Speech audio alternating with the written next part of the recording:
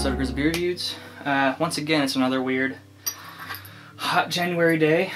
Um, and I went on another long walk, and it's time for another pale ale from Texas. Um, this is another one I got in that trade. I'm going to do a lot of these coming up, so that's just how it's going to be. But this is from the Austin Beerworks Company. I'm assuming from Austin, Texas. And uh, this is their Peacemaker Extra Pale Ale.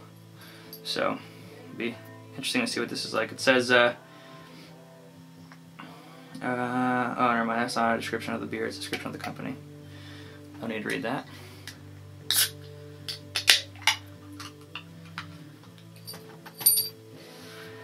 Alrighty. Oh man, it smells good already, just cracking the can open.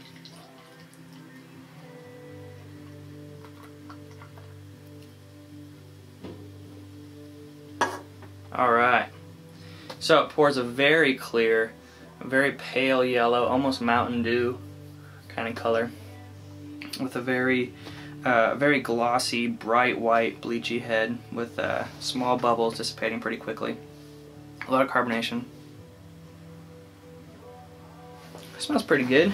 Um, it smells really clean. Um, it smells like, uh, you know, citrus, like lemon and orange and grapefruit and it kind of smells like a uh, like a cleaner, uh, like a, a cleaner, but without all like the disgusting chemical smells. But it smells like you know if you had like a really nice all natural cleaner or something that has like those really nice big citrus kind of smells to it. That's kind of what this smells like. Yeah, it's hoppy. Not getting a lot of malt in there, but see how it tastes.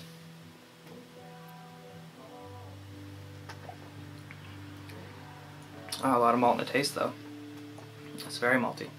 Um, it's really nice, like crackery kind of malt. It's like a really nice, uh, yeah, like a crackery, biscuity, bready kind of malt background. And that's really the main flavor I'm getting.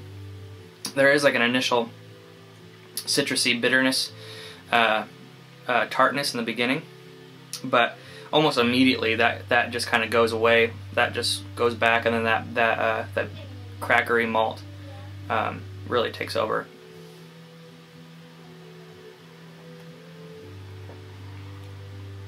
Hmm. Yeah, it's pretty good. Um, it's definitely not something that I would choose to drink on a regular basis, uh, but it is interesting, and I'm glad I got to try it. Uh, I, I do like that that biscuity malt, but with it being called an extra pale ale, I thought that maybe it'd be a bit more hoppy, you know. Um, and maybe this just isn't that fresh, but it uh, it is pretty refreshing, you know. After being on a long walk on a pretty warm day, it, it does it does help, uh, you know, cool me down, refresh me. But, um, yeah, so that is the uh, that is the Peacemaker Extra Pale Ale from Austin Beerworks from Austin, Texas. Um, a uh, an interesting, um, refreshing but good uh, pale ale. Um, but thanks for coming back for another episode of Grizzly Beer Reviews. Come back for more. This has been a good beer.